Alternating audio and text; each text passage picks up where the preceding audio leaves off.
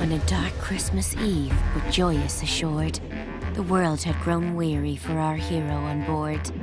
But with presents gone missing and duty at hand, the detective ignited and supplied the demand.